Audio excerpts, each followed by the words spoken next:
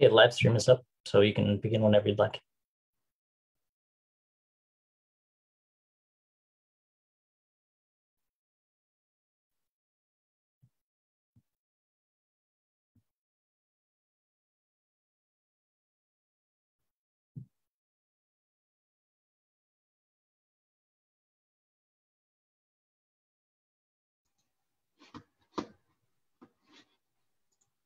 I want to thank everyone for joining us on their beautiful Sunday afternoon to learn more about gardening for life. Our host, Jose German, is with us from New Jersey, and he is a tremendous asset to the state of New Jersey and hopefully to the attendees today. You're going to learn more about organic gardening. Uh, for those who want to submit a question, there is a Q&A uh, box on the bottom of your Zoom screen. So have a look for that and feel free to submit questions at any time. At the end of the session, I'll be going through the questions and asking Jose for you. And then for attendees, we're going to have a little raffle uh, as a thank you and an incentive for joining us today. So without further ado, I turn it over to Jose. Thank you, Pan. Uh, good afternoon. Thank you for inviting me to your first celebration of Earth Day. Uh, I am honored to be part of this uh, great initiative. Um, I would like to introduce quickly our organization, the Northeast Earth Coalition. We are a volunteer-driven organization based in Montclair, New Jersey. Uh, we work at community level uh, to protect the environment and promote local sustainability and food security. So welcome to our Gardening for Life uh, uh, workshop. Um, basically, uh, this is an introductory uh, webinar for people who has interest in uh, learning about uh, how to grow food in an organic way. we also will be offering a holistic approach um, about how integrated is uh, vegetable gardening with uh, habitats uh, and pollinators gardens.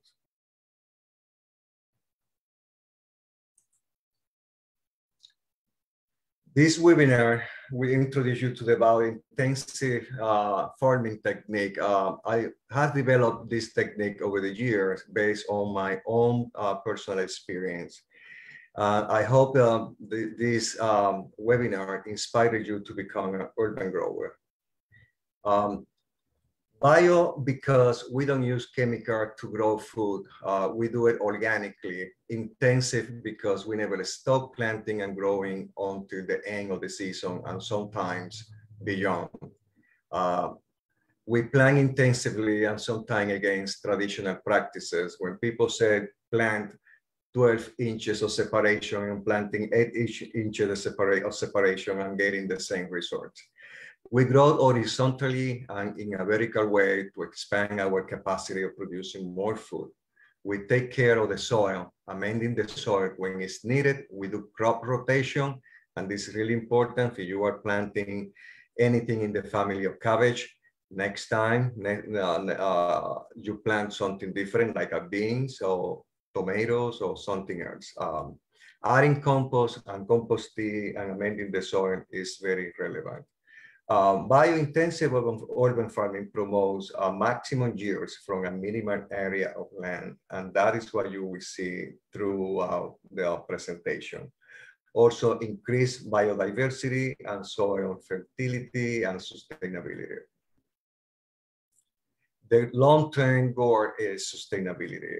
It is particularly effective for backyard gardeners and small-scale commercial farms. How you can achieve uh, this uh, technique in your yard? Uh, sometimes it's very convenient to use the methodology of food planting, square foot planting, also adding companion plants uh, and growing, like I said before, vertically and using container gardening too and planting the next crop of generation through the season. And this is the key to be successful. Uh, you need to plan ahead your garden and even produce vegetables during the cold weather. And this is an inspiration picture. Uh, let's see all the details that this picture is telling us. If we go uh, and pay attention to what is growing at the ground level, we see there some lettuce, arugula, and then uh, growing up, we have uh, beans, um, and then in the right side, in a pot, in a terracotta pot, we have marigolds. The marigolds is a repelling plant to protect this section of the garden. We are also using a hanging basket. And then in the back, we have another hanging basket, green uh, in two tones. And we are growing there tomato and herbs all around. And this is the driveway. So we are taking advantage of everything. Over the season, we switch from sugar snap peas to beans and then cucumbers using the same trellis and in the same space. And behind, we have other uh, uh, vegetable growing uh, behind the trellis, uh, also strawberries. Uh, and you see also garlic uh, at the near, near to the gutter drainage. so that is, everything is going on in such a small space. And this uh, picture was taken this morning, uh. Uh, it's the beginning of the season. Uh, we've covered it with some metal screen to protect them from starlings. It's the nesting time for them, and they are damaging the, the garden if we don't protect them. Um, and then we have a rhubarb at the beginning of the picture at the bottom in the picture in the left, uh, rhubarb and then uh, we are growing apple, espalier apple, not visible here, but they are right there in a very tiny space. Um, next to the foundation of the house, we decided this year to add uh, growing potato banks.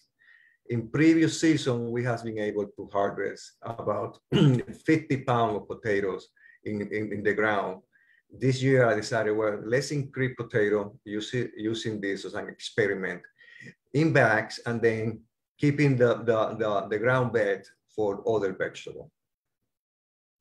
10 bags, we are estimating five pounds of potato each eventually, so 50 pounds of potatoes.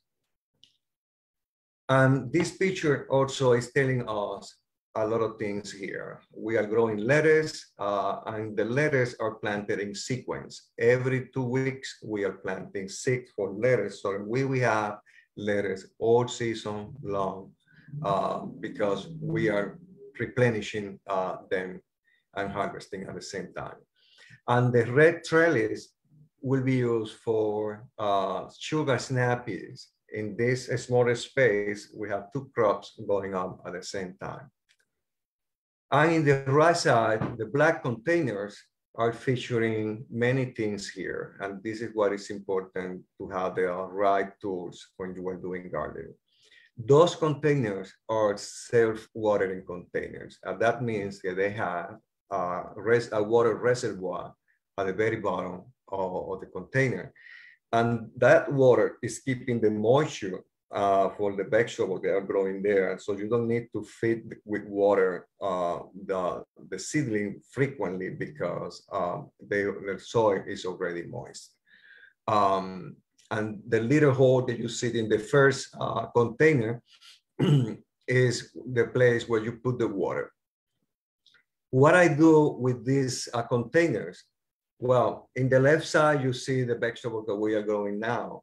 And then in the right side, we'll be developing the seedling that we'll be transplanting to the ground later on. So we don't wait to expand what we planted. We continue planting new things immediately. So let's move now to the how to. Learning about climate and planting zone is very relevant because it's telling us what we need to plant and when we need to plant. And we will see later on also companion plants and diversity and the new garden checklist. This is a pollinator garden that we created um, in a uh, pocket park in downtown Montclair. And here is um, the hardiness, the plant hardiness zone map. Since we have people from Montclair, Connecticut, and New York, uh, I decided to put the three uh, different uh, hardiness zone um, um, in the in the diagram. So Montclair, New Jersey is 6B, Trumbull, Connecticut is 6B, 7A, and New York City is C 7A, 7B. And that is telling us all the different temperature and you know and weather condition during the season.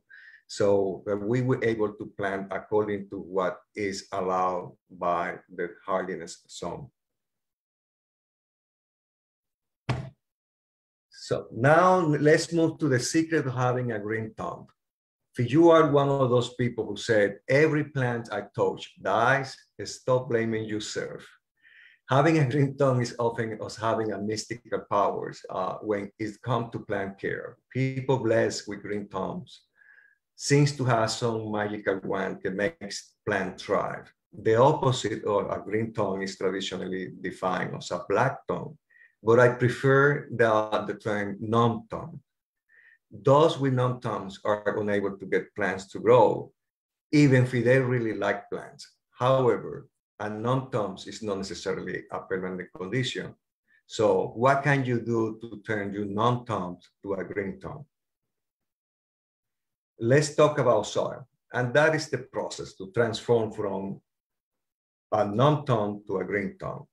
You need to know what you are doing. Soil, soil definition is a living uh, organism. And this organism is compiled by um, provide nutritional support for people, has nutritional needs on its own, and is also integrated by minerals and creatures along, uh, you know, other uh, components basically iron oxide, unicellular bacteria and filaments, protozoa and amoebas, nematodes, and that is the topic for another uh, webinar, uh, fine roots and mites. And compost is the most efficient and sustainable way to improve or amend your soil. And we will see this quickly. I know that you already provide to your community a compost uh, uh webinar but let's go to the basic. Uh, composting is using your kitchen leftover green, vegetable, organic, uh, and you mix them with the browns, leaf from the fall, uh, grass clipping, and then you create something special. And why composting is important because the less uh, waste in your home, you send to the landfill, you are reducing your carbon footprint. Reducing waste uh, uh, go to the landfill or incinerator is not only uh, good for the environment, but for the health of other people, especially community that are using incinerators. And how this works. What we see here in this graphic is a combination of many layers wood chip at the bottom, green leaf, brown leaf, kitchen waste, brown leaf again. And the grass clipping and the brown are very special in the mix. The grass clipping are highly concentrated in nitrogen. So that is really good for your compost and your soil eventually. And the brown leaf are uh, using can be used as a filter to reduce the amount of odors getting out of the compost pile.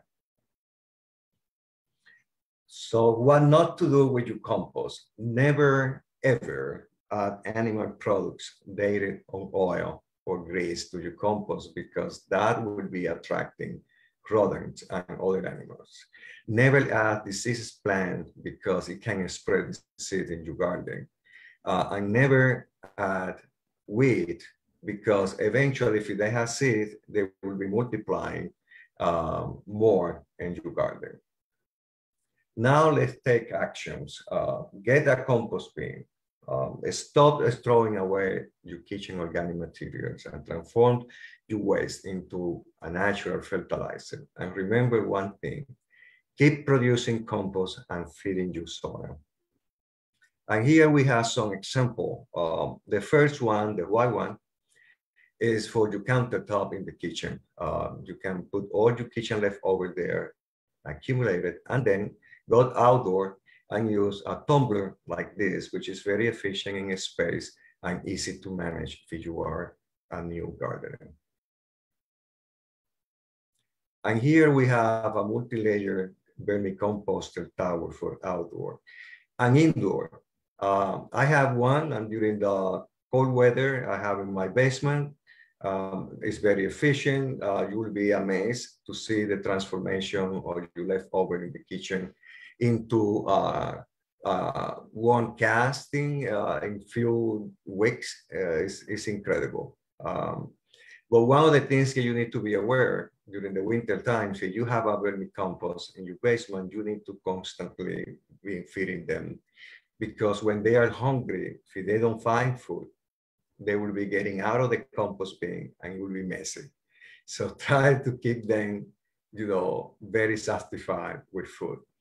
And remember, this one uh, don't survive the winter outside. So it's just for inside and, and weather, you know, over uh, 50 degrees. In summary, uh, healthy soil produce healthy veggies. Now let's grow food because that is the purpose of this uh, webinar.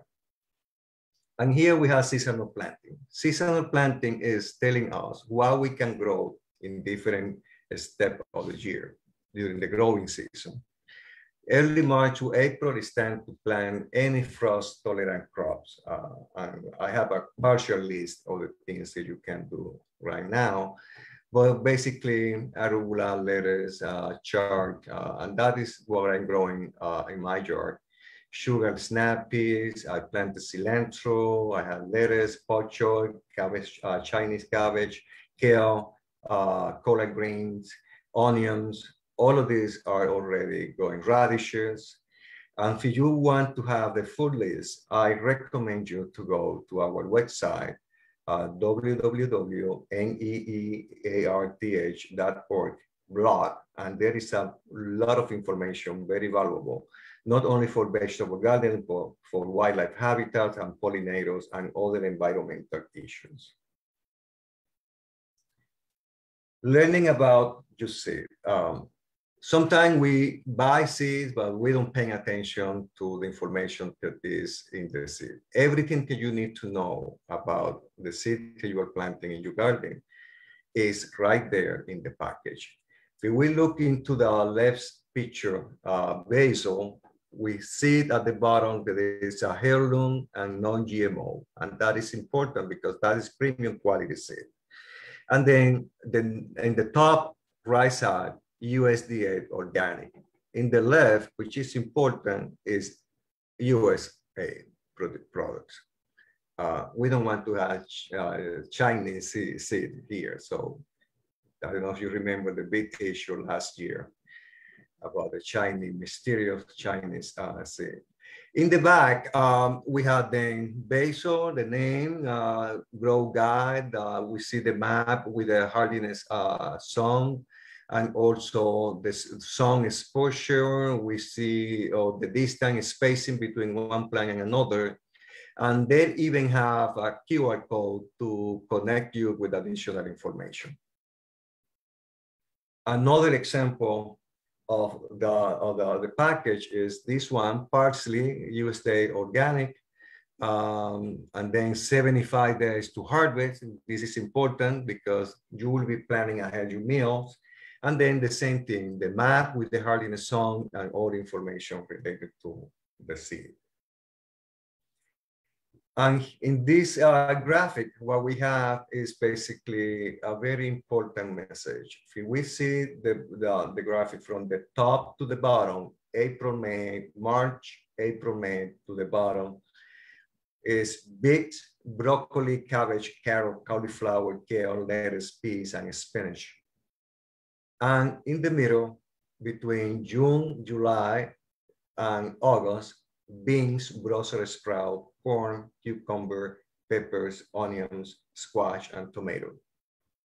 In the right side, it's not a coincidence. We have the same kind of things that we have uh, early in the, in the season. Beets, broccoli, cabbage, carrot, cauliflower, kale, peas, eh, spinach. That is telling us that when we are purchasing seeds, we need to buy double for the spring and late summer. And here we have the new garden checklist. If you are new in gardening and you don't have one, but you want to create one, the first thing that you need to, to determine is the sunlight exposure uh, and design your planting area. Know the quality and composition of your soil. If you are using the native soil, which is the soil that you uh, is in the ground, be sure that you are getting a soil test from uh, any uh, lab uh, available uh, in your community. Uh, sometimes the extension program of college and university, they have it. Uh, the master gardening program, they have, you know, um, the resources to do soil tests. it's not expensive. It costs you probably about $40 and you can send them the sampling of your soil by mail but in this time of the season, it's really late to do that. If you are decided to do uh, a new garden, uh, I suggest you to get organic soil in your uh, preferred nursery. Um, there is advantage or disadvantage on deciding and tilling and uh, uh, the ground and creating raised bed. Uh, I feel more comfortable using raised bed for many reasons. So get some basic tools like hand shovels, uh, also really important, uh, organize your seed uh, and put them into storage.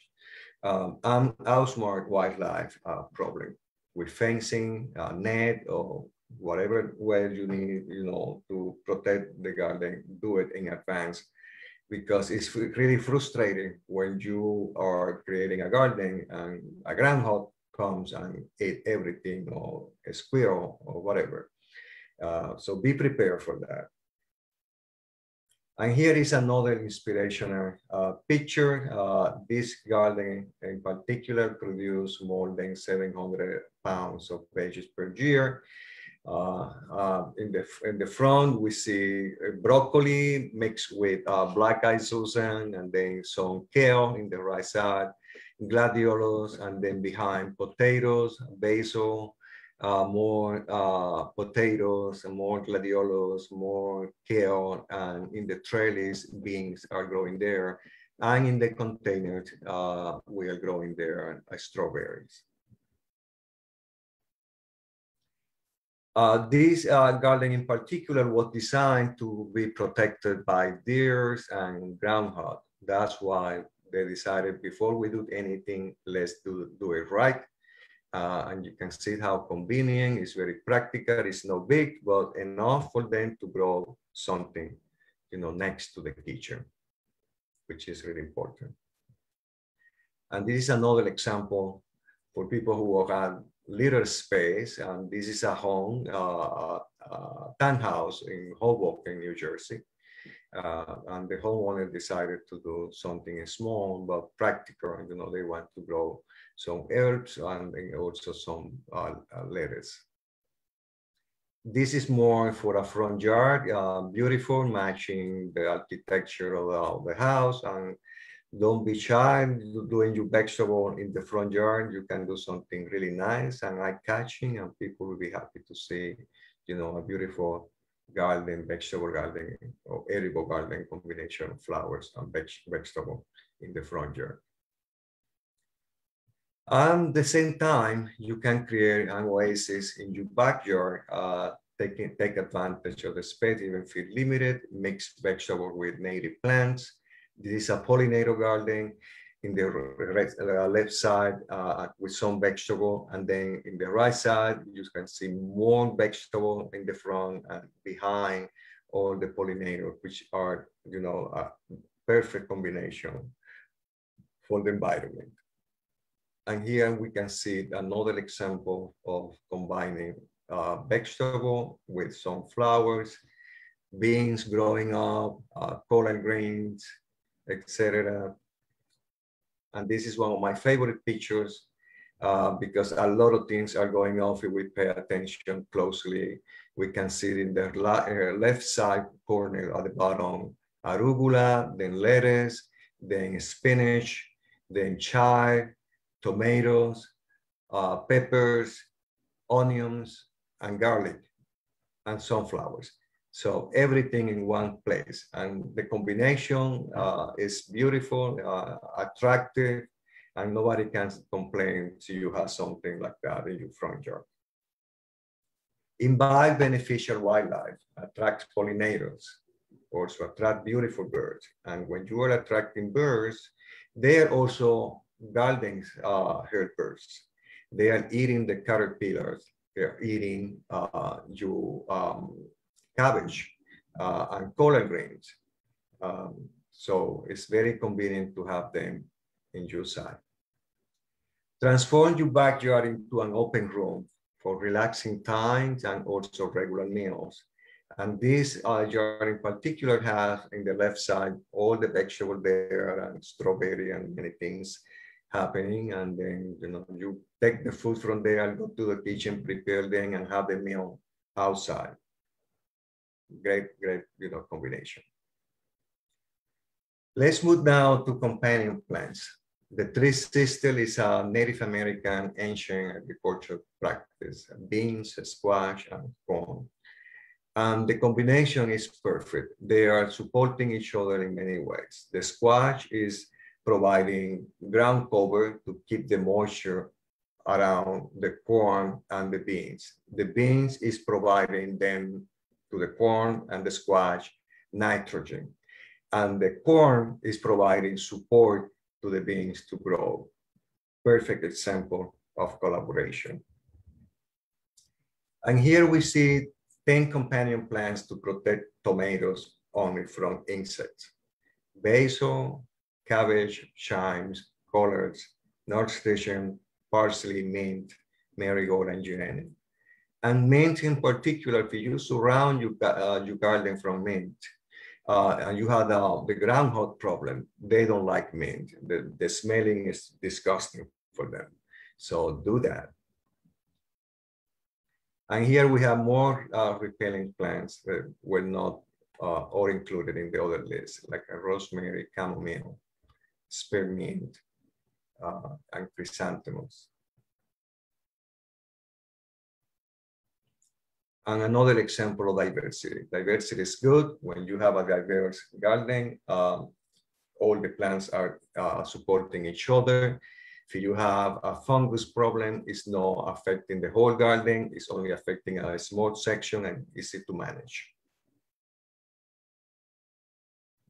And make your garden productive. You can have healthy food, premium quality, instead of your kitchen. Um, you can also maximize your crop and usually take picture every week during the growing season. So this is one week and the following week you see the abundance of producing more. In the picture, we are showing lettuce, two different kind, strawberry, potatoes, more strawberry behind and more potatoes, and flowers from the garden. And here is another motivational harvest picture showing uh, different kind of potatoes. Uh, it's late in the summer, so we have uh, uh, tomatoes, two different kinds of beans, and a lot of broccoli. And when you are growing your food, you take pride in the quality of the products that you are producing. And this is the kind of products uh, that we produce at home. First quality, I can say, you know, without any doubt that this is premium quality, even better than supermarket quality, organically grown. Another example, abundance uh, and healthy, you know, carrots. Uh, with carrots, I tried to produce two crops uh, per year. One of them uh, late in the, I start planting them late in, this, in the fall and harvesting them in March. How I do that? Well, it could be a little bit tricky, but it's simple. Uh, I try to protect, uh, to plant them ahead of time and put a layer of uh, leaf to uh, protect them from freezing and covering with a fabric. And in March, last week of March, every year, I harvesting this kind of carrots. And here is last summer.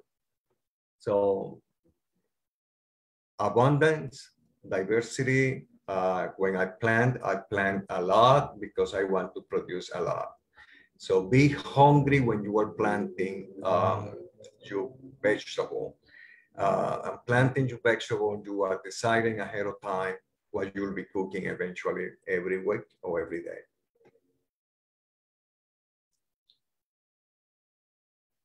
And the transformation, healthy meals, healthy life.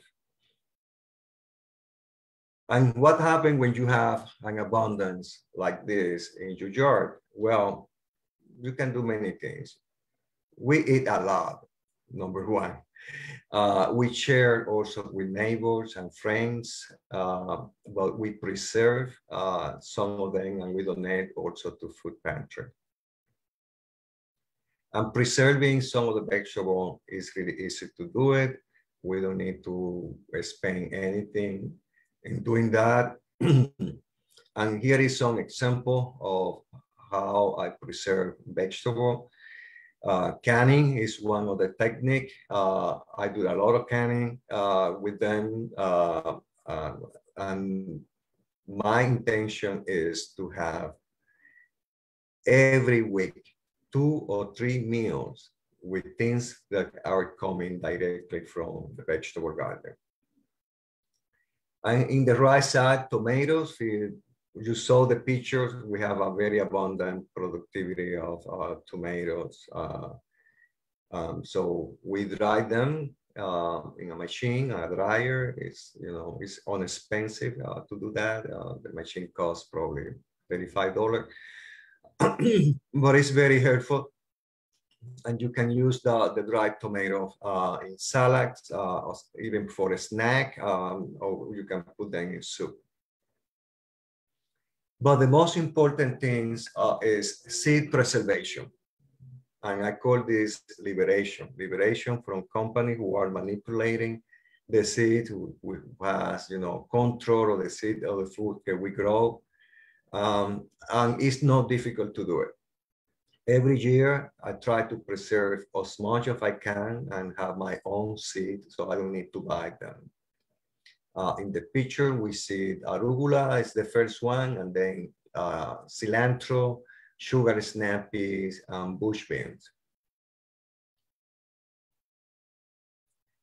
And even a small garden can be productive. Uh, you know, I recommend you to start small, uh, and then also you uh, progress learning more and developing gardening skill.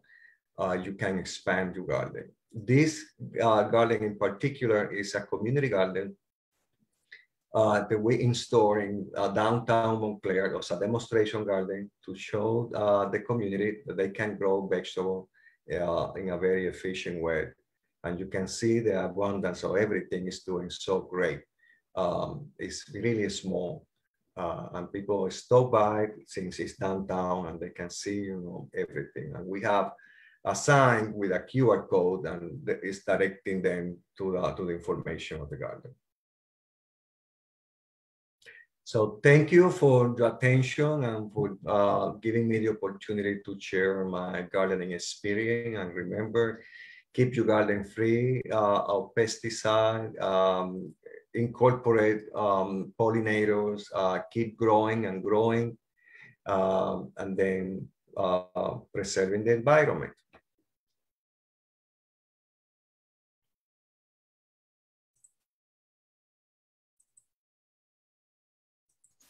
Thank you, Jose, uh, for a great presentation. We have a couple of questions. One is, when is the best time to plant potatoes in a raised bed? The best time to plant tomatoes in a raised bed is after you know the, the, the date of the last frost in your community. Uh, doesn't apply to everyone. For example, in Northern New Jersey would be May 5th so Connecticut should be a little bit later. I would say mid-May. And is the same for potatoes than as tomatoes? no. Okay. Potatoes for tomatoes, you can start very early because tomato are cold tolerant. Uh, I started planting uh, potatoes uh, two weeks ago. Oh, okay. Yeah. I um, noticed those potato bags that you had. Um, and I know that you said you're experimenting with those this year. I've never seen those before. Are those available online? And would you recommend if you have a Yeah. area? Yeah, no, you can, they are available online. Yeah, just Google in Amazon. I got from Amazon, they have it. Uh, yeah, they are not expensive and they last several, you know, uh, growing season. Um, very convenient, very practical, you know. I noticed that you had a lot of companion plants in the photographs of the different gardens. And I liked the slides where you showed different companion plants. But I mean, I think that people forget how important they really are. Is that right? You should really. Yes, they are really they- they are really important for many reasons. They are protecting uh, your crop. They are also uh, giving you, you know, the plants. So you, you you are planting them and you are eating them at the same time. It's just you know creating some diversity and protection and using them as a repellents for insects and predators. Uh, another question is about composting. Um, I have a double-sided composter and it gets full fast. We eat a lot of vegetables and save every scrap. I keep just filling my composter, but not sure how to store the compost or how to know when not to keep adding to the compost so the compost cooks appropriately. So can you just expand a little bit about that? Yes, uh, that is one of the, of the of the challenge. The people who has only one compost bin uh, are facing. When you are having only one compost bin in your yard, you need to look for the compost bin that you can have the drawer at the bottom and you get the, the compost from the bottom because you are still putting adding more layers on top of that. But my suggestion is get two instead of one. One is growing up and then another which is processing already. So by the time that you finish, you, you uh, process a compost of being, you are already having another one and you will start from scratch in the other one. How long does it take for scraps to turn into compost in general? Depends. Uh, for some people, uh, it could be three or four months. Uh, for others, it could be more. In that case, one of the, of the best way to accelerate um, the compost transformation is using an accelerator material, which is organic and you can get it online also. So get a compost accelerator and that will be speeding the process. Okay, good to know. Um, I'm not sure that I know what fungus flies is, but someone's asking about what, in your opinion, is the best way to get rid of fungus flies in an indoor or outdoor plant? I've tried cinnamon and it worked for some of them. However, some of my plants didn't recover. Uh, if they're in an edible plant, is it unsafe to eat? Well, when you got that, when you notice the, the, the, the fly, it's because you have already a bit infest, infestation. So see that happen, use some uh, sanitizer, soap, uh, organic soap, and you can uh, you first watch with the, with the hose, with the most powerful, you know, tube uh, this, of the hose, uh, and spray them uh, strongly at least every day for three days. If they don't go away, then use some uh, organic repellent for them. Um, one more question has just come in. I have several raised beds from last season. I used organic soil. Can I just mix it up with my compost to get started for this season?